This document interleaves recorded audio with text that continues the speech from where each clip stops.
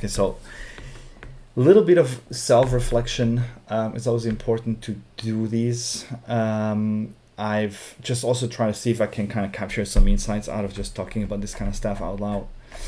Um, I've spent about 300 hours, probably more, on um, you know studying quantum computing. it's all uh, you can find it in this playlist. It's 336 videos, uh, and kind of like I I just want to ask myself first of all, have I learned anything? Um, was it worth the, the time?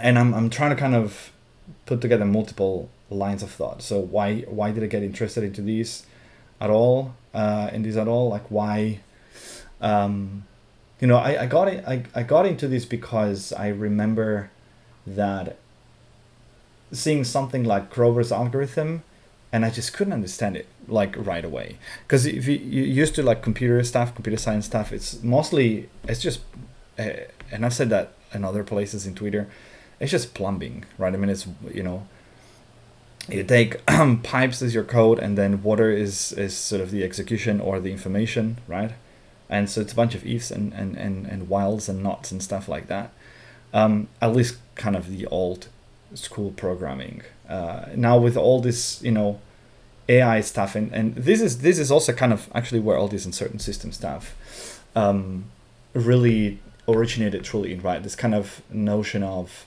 there are systems out there that they are unpredictable, or at least they seem so. And that brought me into like, cool, I, I have to understand that there's, there's got to be at least a way to understand where does this unpredictability come from and where does these um, Grover think, how does this even work, you know? Um, and so that, that brought me into these, I don't know, it, I have to say, I have to admit I, I enjoyed a lot um, going through all this stuff and you know I'd probably now do it a bit differently but maybe not I don't know it, you know it was it's just pure innocent exploration playing with stuff being practical. Have I learned anything useful? Yes. Um, I definitely have I, I would say a solid understanding of where the quantum computing stuff is at the moment um, for those interested in in sort of the field itself from a business perspective I mean despite all the crap that's out there, you know, it's we're essentially trying to build a quantum computer, right? So we haven't built one yet, or we haven't built one that is actually um, usable. Um, you know, we've been we've built some stuff that is usable that, that can be used technically, but it's not for any useful stuff because they're just too noisy, too error prone. So we, you know, that's where the industry is. And this is probably where the focus the big focus should be if you want to get into quantum computing. Just just go get go, go get help. The, the the machine actually be built.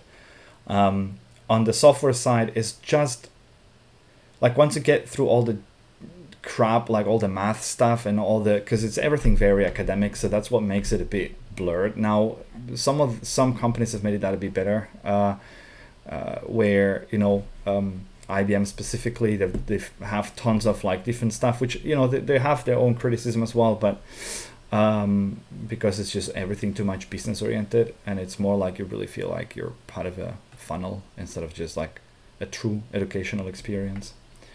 Um,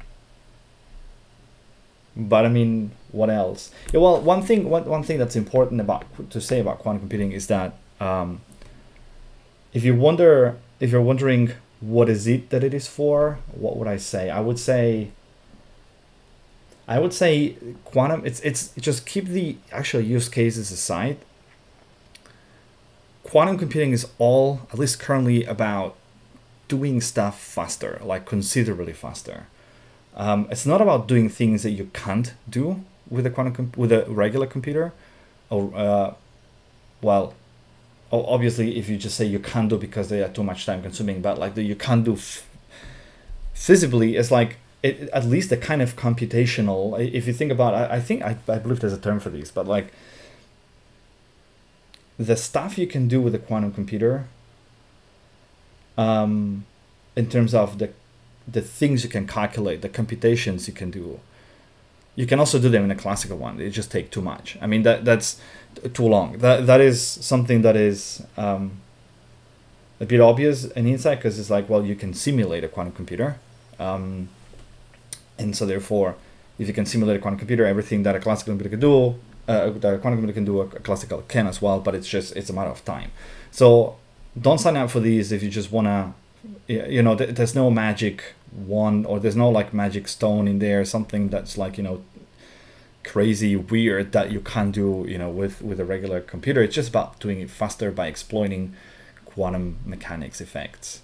Um, and that's kind of i think the biggest learning out of this. Is like uh, it is going to be it's it's going to be about getting you know doing stuff faster. And so that that's kind of where the potential of quantum computing is kind of finding clever ways to do this. And then obviously on the modeling side of things it's like you can model you can model physical systems. You can model you know um, quantum systems uh, because it's a quantum computer and so it requires less resources uh, from a time and space perspective i guess. You could also argue it like that um, so it is going to be definitely useful to study this stuff. Just but again, it's underlying the underlying advantage is the same. It's just with a quantum computer, you can do stuff potentially faster, right? Now, most of the stuff that is known nowadays, even if it feels faster, you know, it, once the, the actual usable computer will be built, doesn't mean that it has to be faster because the the sort of the error connection, the error correction mechanisms that will go on top of that might just make it useless, right? So it's got to be from an algorithmic standpoint a huge speed up. Otherwise, uh, otherwise, even if it's technically on paper faster, then the actual machine won't make it really uh, that fast. Now, so so this is, you know, I think that's the gist of it. Like what quantum computing is. Like it's or what is it going to be for? It's just going to help us make stuff faster, which essentially it means we can move technology. You know, you you can build technology that's currently not possible, um, potentially, right? Because because with the with the classical computational methods, we just you know you just can't do certain things because of the time that it takes, the resources. Um, yeah, but essentially that's it. I mean, if you want to get into this, you absolutely do not like of course, it's very personal, but you, I don't think you need a lot of prerequisites. It's just go into it, like just get into it, just start learning some of the stuff, and as you you know come across something you don't understand, just stop, and then unpack it. Um, it just takes time. Man, I like I, I spent 300 hours on this, so that's this is like, and actually, if you check the date of my first video, uh, the date of my first video was like what? Uh, can I open this without playing it. So this was three years ago. And now I'm doing already other stuff. So I'm, I'm just working, I'm, I'm exploring quantum mechanics itself, right? Because it's um, a bit of a different thing. So kind of like going behind sort of the framework of why these things work uh, or, or, you know, where the uncertainties, that's kind of like where, where my interest ultimately, uh, or at least at the moment lies, right? Uh, but essentially, that was like three years ago, and I think it probably took me like two full years to kind of do the whole thing. It's not that I was doing a video every day, but you know, pretty consistent, um, I would say. Um, yeah, so I think uh, I think that sums it up pretty much. Like I, I'm I'm sorry if that didn't deliver as in like oh quantum computing is amazing it's the newest technology and you can do this and that look essentially it's a technology that will enable us to do stuff faster. At least that's my understanding. I, I might be wrong but I, I think that's my understanding based off uh, of what i've you know taken out of all these. Um, it's that simple. It's it's something that is going to just make us is it? I think so right? Because essentially that's what you want is that, that that's that's all algorithms computationally is the same right? You cannot do some magic weird stuff that you can do uh, you know, there's there's nothing you can't simulate with a classical computer. Um, so that's that's that already tells you everything, or should tell you everything. It's just about doing stuff faster. Uh, and um, is it worth understanding uh, and diving into this? Yeah, definitely. Um, it's it's actually quite fun to kind of you know break uh, away from the classical binary system zero one. Think about superpositions. What that what does this really imply? Uh, but there's currently nothing you can't uh, simulate, so that's that's where the advantage uh, is. Now, whether you can do something, that's probably good. I mean, that's definitely a good question. Can you do something that you can't do classically? you can model everything. I think that actually should answer it. Uh, sure, an this answers the question. Um,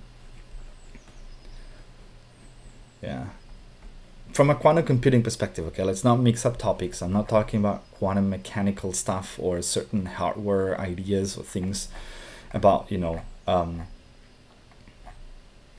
even even like machine learning stuff and AI stuff like the the whole quantum stuff that's the, the whole quantum thing story that's connected to it it is going to be about like doing stuff you know building building models that are basically executable because you could just uh, you know you, you wouldn't just be able to do that with uh, you know uh, with a class with, with a kind of a classical model um,